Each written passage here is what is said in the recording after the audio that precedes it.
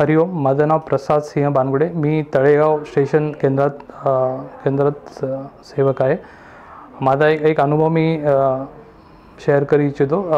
हा अनुभव आहे आम्ही मी आणि माझी फॅमिली माझी आई बायको मुलगा आणि मी. आम्ही पहाटे आमच्या गावी मिरजला जायला निघालो होतो. तर साधारण आम्ही जेव्हा प्रवास करतो तर बा मिसेसला बापू रामरक्षा किंवा गुरुक्षेत्र मंत्र ही हमखास किंवा हनुमान चालीसा ही हमखास गाडीत बसल्यावर म्हण म्हण- म्हणते ती. आम्ही साधारण प्रवास चालू केल्यानंतर तिने ते गुरुक्षेत्र मंत्र आम्ही म्हणायला सुरुवात केली. आणि आम्ही जसं पुढे प्रवासाला निघालो तर साधारण कात्रजच्या अगोदर त्यावेळी तिकडे बरंच रोडचं काम चालत असत. बरंच पावसाळी दिवस असल्यामुळे पहाटे पाच वाजता पाच पाच वाजे सुमा सुमारास समोरचं काही दिसत नव्हतं. पाणी भरलेलं असलं होतं.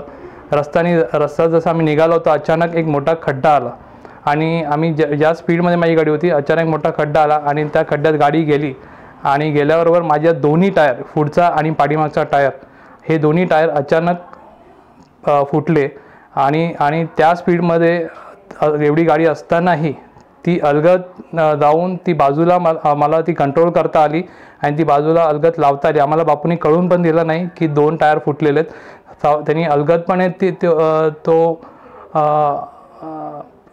जे टायर फुटले होते ते अलगदपणे ती गाडी बाजूला लावण्यापर्यंत पर्यंतची आम्हाला वेळ दिला. आणि आणि गाडीनं खाली उतरल्यानंतर बघितलं की टायर टायर अक्षरशः दोन्ही फुटलेले होते. जर हेच जर एकदम एखादी गाडी स्पीडमध्ये असते हे टायर फुटले असतं तर ज- शक्यतो गाडीचा कंट्रोल जातो. गाडी कुठल्या तरी एका साईडला ओढली जाते ती धडकली जाते. पण तसं काही होऊन दिलं नाही.